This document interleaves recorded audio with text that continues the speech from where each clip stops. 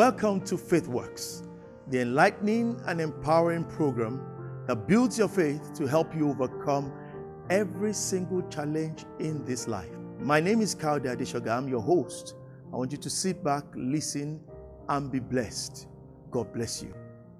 When people change from being filthy and they become holy and they do righteousness, God is glorified.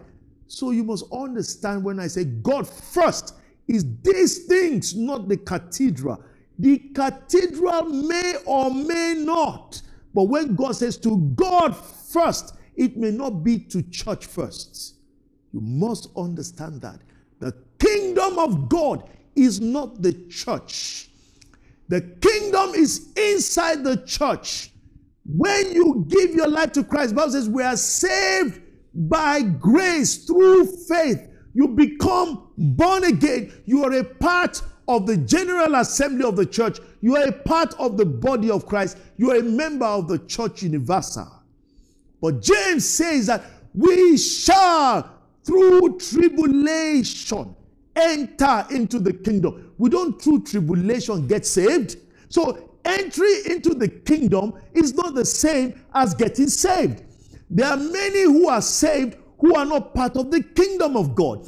The kingdom of God are those who are custodians of the rule of God. Every person that is a kingdom is born again, but not every person that is born again is of the kingdom. Kingdom first, not church first. Don't make that error. They are not the same. Seek the kingdom, the need of the kingdom. Now, the kingdom is inside the church. So, raising funds for the cathedral may not be the kingdom. And that's what people must understand. Jesus said, they, they do not say the kingdom is here. Lo, you don't say it is here or it is there. Now, church is there. You can tell the address. They say, Oh, what's the name of your church? You call it Instant Riches Millionaire, um, turned from wilderness to millionaire church. Woo! Everybody likes that. They want to go.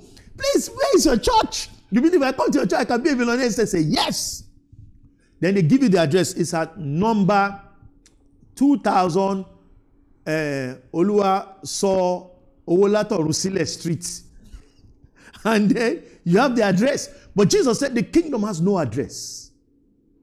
He said, They do not say it is here, neither do you say it is there. For lo, the kingdom is within thee. So the kingdom, the church has a physical connection. The kingdom has no physical connection, it's a spiritual. That is what, when you give to, that addresses all your need, not church. Oh, you must understand that the, the kingdom of God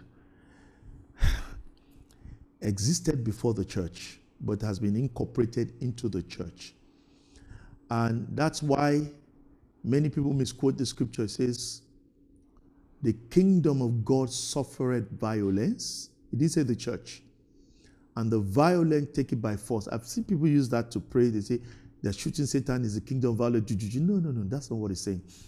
If you want to understand what the scripture is saying, you look at what it says in Matthew, look at what it's saying in Mark and Luke, and compare them together. In Luke, it says, From the days of John the Baptist, the kingdom of God is being preached, and men are pressing into it. He said, The prostitutes, the harlots, entered the kingdom before the Pharisees. He said, They will sit with Abraham, Isaac, and Jacob in the kingdom above. He said, And you, the Sanhedrin, will be cast out. Now, what the Lord is saying is that from the time John the Baptist came, before then, the kingdom was closed. Nobody can enter it except God calls you to come and enter. He called Abraham. The Bible says he called him from the father's house. Come and enter the kingdom. He called Isaac. He called Jacob. The Bible says Esau sought the kingdom with tears. It was denied him. He couldn't enter. If God didn't call you, can't enter. He said, but from the days of John the Baptist, they've opened the doors of the kingdom to everyone, and the prostitutes are running into it. Wow, that's what the scripture says. He's not talking about violence. He's talking about strong-hearted men are running into it, including prostitutes and harlots. That's what that scripture is saying.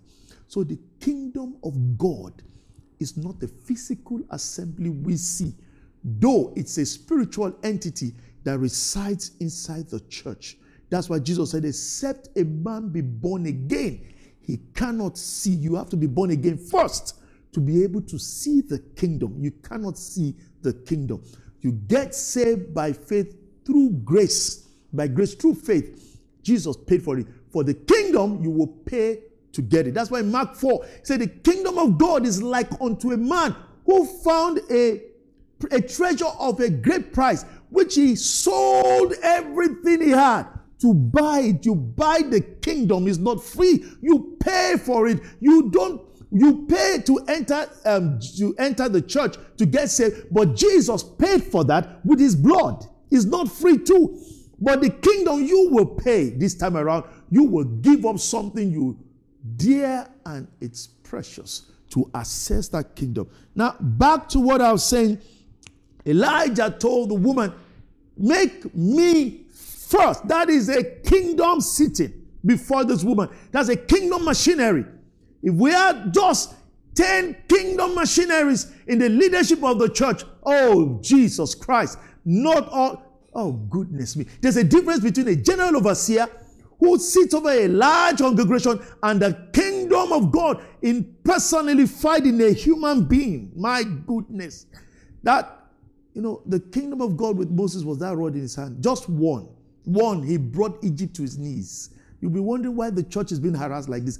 There are no kingdom materials. They are not there. We have church materials, no kingdom. When the kingdom materials are unleashed, they are being prepared by God. They are the sons of God. When he brings the Bible says creation is waiting for the manifestation, not of the bishops, not of the pastors, but of the manifestation of the sons of God. These men that possess the kingdom, when God opens them up, oh no, Jesus Christ.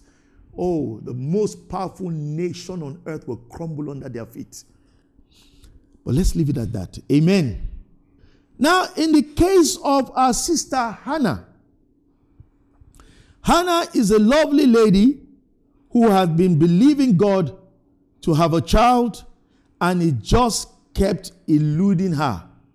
It just did not come. Bible says that she was married to Elkanah, who had two wives, Peninnah and herself. Peninnah had children, but Hannah just did not have any child. Now, in verse 3 for Samuel chapter 1, this man called Hannah went up out of the city yearly to worship, to sacrifice unto the Lord of hosts in Shiloh. And the two sons of Eli, Hophni and Phinehas, the priest of the Lord, were there.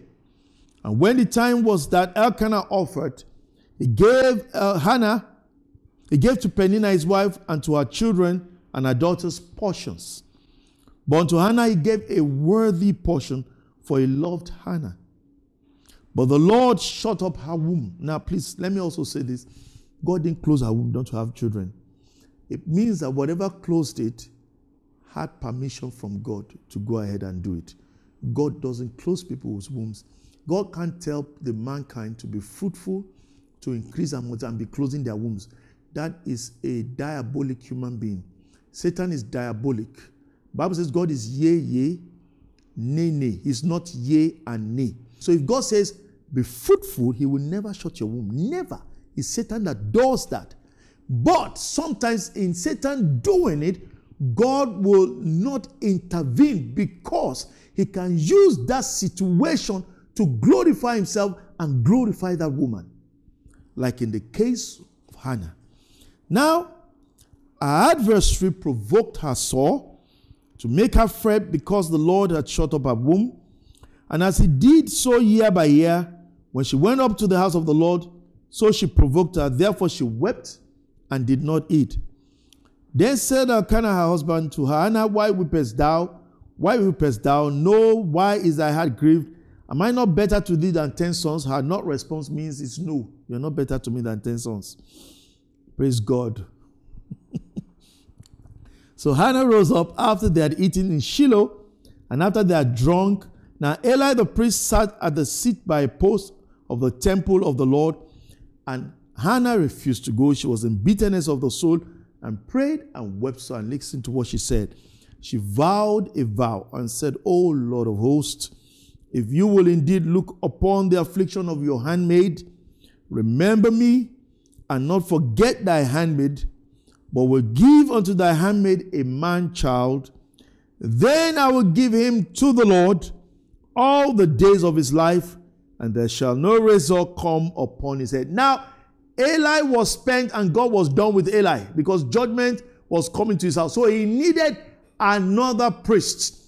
And Hannah just walked into that need and said, Lord, I give my fourth son to you as your priest. Take him, let him be yours forever and ever. I will not lay claim to him. Do to him as you so wish. And then you all know the story. She gave birth to Samuel, and I guess she had four or five more other sons after that. So, why was her need addressed when she decided to give what she wanted to God first and then take the one that came second? And God gave her two, three, four, five, and six. Amen. Now, the story goes on and on in the Bible.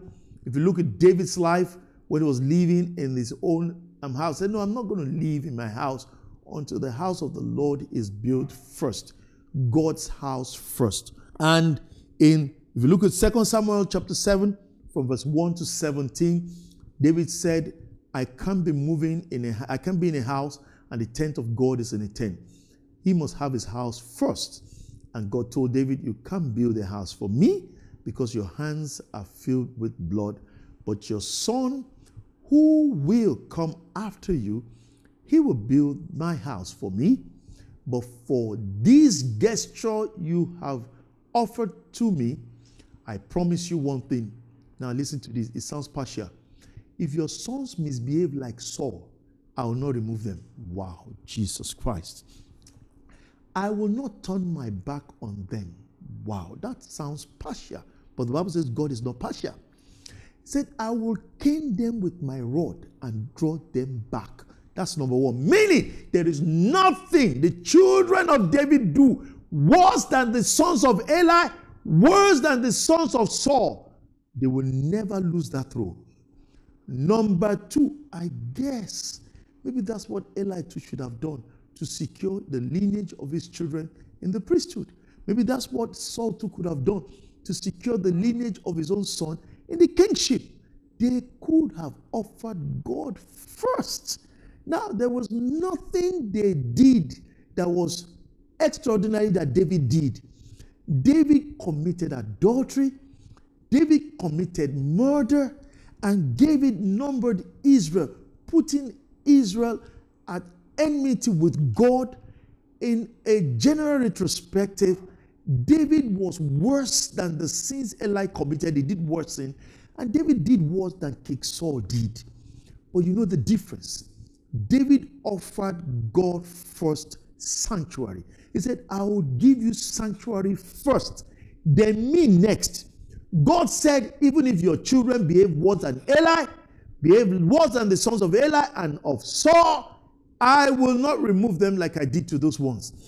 And God secured and said, Secondly, you shall have light on the throne of Israel forever and ever. Meaning, till today, the children of David are still noble, royal, and great men in the nation of Israel. Why? He said, Your temple, your sanctuary first before mine. He says, Seek ye first the kingdom of God and its righteousness. And then you will have what I call a total and a thorough and a complete package. I keep asking myself, first and foremost in life, and this is another message for another day, but I'll just give a hint on it. Every human being is built, empowered, irrespective of your tongue, irrespective of your tribe, no matter where you come from, no matter your religion, even if you're an atheist, even if you don't believe in God, you are built, endued by God to be able to walk, to live, to eat, to drink, and to wear clothes. If it's to walk, to eat, to live, and to wear clothes, you don't need God. You are not, except you, you are naturally endowed to be able to do that. Even if it is just working as a um, as a uh, um, low skilled person, you'll be able to eat, you'll be able to drink. A lot of people who go abroad do unskilled work and they're able to eat, they're able to drink, they're able to clothe. Even in those unskilled work, they're able to afford basic, simple accommodation. So the basic essence of living has been given by God to every human being.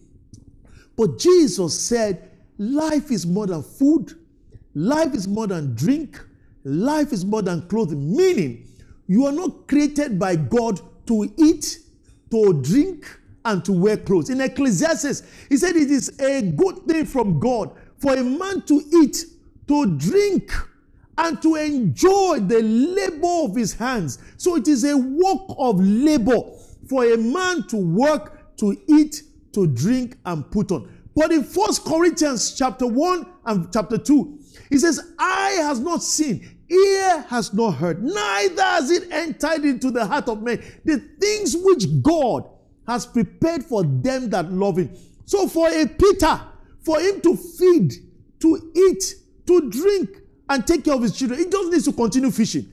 And you don't need God for that.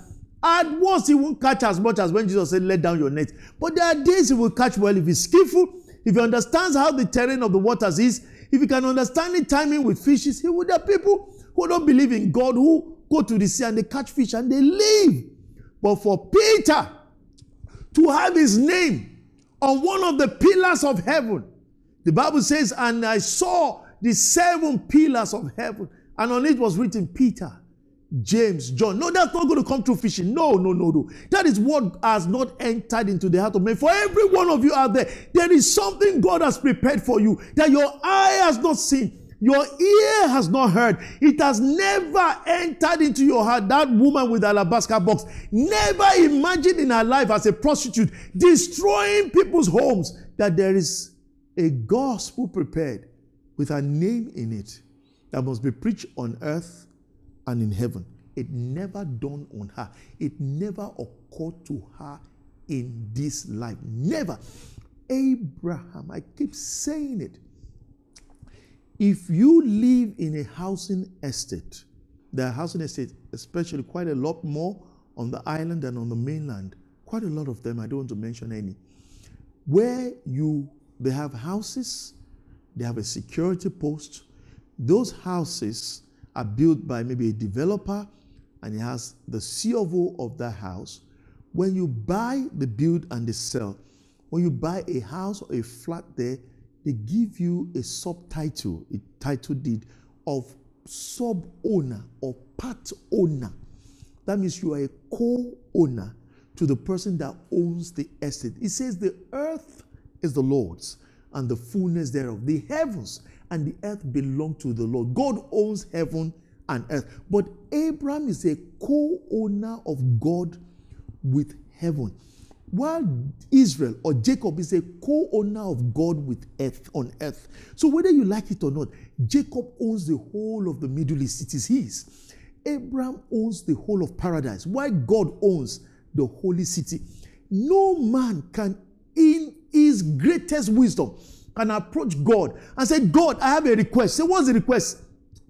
Can I jointly own heaven with you? No man in his worst insanity would dare do it but it was prepared for Abraham, meaning things you can never imagine that belongs to you. And all God says, put me first in all your consideration. Put me first. In your finances, put me first. In your career, put me first. In your life, put me first. In everything you do, put me first. However, if all you want in life is to eat, like some are preaching, they say, What did so and so give? What did that give? What did this give? They mention names that are big. Even one of them is building a refinery. Do you know that in the Bible, in Mark chapter 10, there is a man, a rich man, whom I will liken to the owner of the largest refinery today approached Jesus and said, What do I need to do to inherit eternal life? Jesus said, You know what is written in the scriptures? Don't steal, don't kill, don't do all that evil. Do it and you should. He said, I have done all this because people are thinking that what these men have is all God has for them. No, they have not started what God has for them. They don't even have the picture yet. It's far, they can't even ask for it. And Jesus told the rich man, Sell all you have, give it to the poor, come and follow me. Now, in further, that Mark 10 further verses, he said, There is no man who has left father, mother, houses, children, wife, lands, that who has left all these things for my sake, that shall not again inherit. But what Jesus wrote in the preceding verses, he left house. He shall inherit houses. He left, take note, the land he gave up is singular. He shall inherit, the lands he will inherit is plural, meaning, as rich as this man is, he has not even started what God has for him. And some people will say, Who did this one give to? Who did that one give to that? To them, that is one of the greatest attainment in life. They are myopic and they are narrow minded. They don't have the mind of Christ. They can't access the mind of God. Who says, What I have for you, your eye has not seen, their own eye has seen this. What I have for you, your ear has not heard. Their ears heard this. What I have for you, you have not conceived in your mind. Meaning, even for that rich man who was one, the Bible says, for he had great possessions, meaning he was one of the richest men in the whole nation. Yet he had not started the journey of wealth. My goodness. And Lord was trying to make him understand come and adopt this principle of me first, and you will enter into what we have prepared for you. And I close by revisiting Peter again. Here is a skilled fisherman. Look, Peter, it is to feed your children, to take care of them, to clothe them, and to live a good life. There's a proverb in Yoruba, they say, Katironje katiromu, katirinkomu, katirashowo. Ẹgbẹ́. Meaning, if we can eat, if we can drink, and have clothes to wear on, we will not be a subject of reproach amongst our contemporaries. That is one of the greatest evil on earth, that statement. And a man that imbibes it imbibes what I would call retrogression, repression, and reversal in life. Because that fish that Peter was catching, when he let go of it and followed Jesus, now see what he inherited. He inherited powers to raise the dead back to life. He inherited powers to cause cripple to walk. He inherited powers. Then he inherited kingdoms. People think he was poor when he said, Silver and gold I have no. No.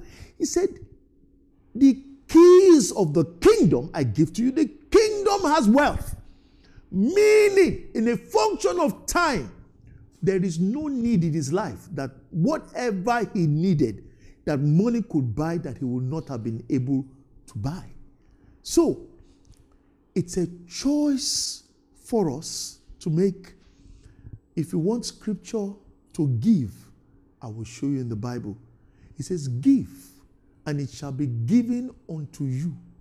Good measure, pressed down, shaken together, running over, shall men pour into your bosom. If you don't want to give, I can also give you scripture. When Elisha told that woman whose children were taken as slaves as born and shorty for a loan the husband took, and she could not pay back, she called on the man of God who gave her a miracle. He said, Borrow vessels. What do you have? Said nothing but a small jar. Said, Fine, pour the oil in the vessels. When she did, he said, The vessels are full. He said, Pay your debt. He didn't say give and live on the rest. So you don't have to give. And if you want, you can give. What if I don't give? You have not sinned. If anybody told you you have sinned, it's a lie. You have not sinned. So you don't need to give to God. Number one, if you want, you can put God number three. Put your own number one, your friends number two, your cousins number three, and put God last. You have not sinned. But when we get to heaven, you will know that all men are not equal. We're only the same. We can all wear white robes, but we don't wear the same medals. Two brigadier generals can stand, and you see one with the order of this, order of that, medal of this, and you see the other one playing. They are both brigadier generals, but one has more medals than the other. Some have crowns on their head. Bible says in Revelation 19, and I saw the word of God, Jesus, riding on a horse, and there were many crowns, meaning the crowns on earth, the crowns went into heaven. There were crowns, all manner, going from one crown to the other, like a million crowns on top of it. Each crown represents victory, and each crown represents reward. Amen. And not only that, on the crown, some will have stars, some will have not stars. Some will have one, some will have few, some will have many. The choice is yours. No one is going to force you to do anything. You have a choice. But we will all face the consequences of every choice we make, whether good or bad, whether for God or for man. And if you do it for God, I know one thing He will never, never, never fail nor disappoint you. I believe you have been blessed by that message. And I know your faith has been built up. And I know all those challenges in life are all going to fall before you in the mighty name of Jesus. I want you to know Hebrews 12 says Jesus is the author and the finisher of our faith. You need him in this walk. And so if you're out there and you don't have Jesus in your life, I want you to say after me, say, Dear Lord Jesus, I believe you're the only begotten Son of God. Come into my life, be my Lord and my Savior. It's as simple as that. Displayed on the screen is diverse information on how you can interact and reach out to us. Take advantage of it, and I'll be expecting to hear from you. Till I come your way again, same time next week, I want to tell you don't give up. Faith works. It's working and it will work in your life. God bless you.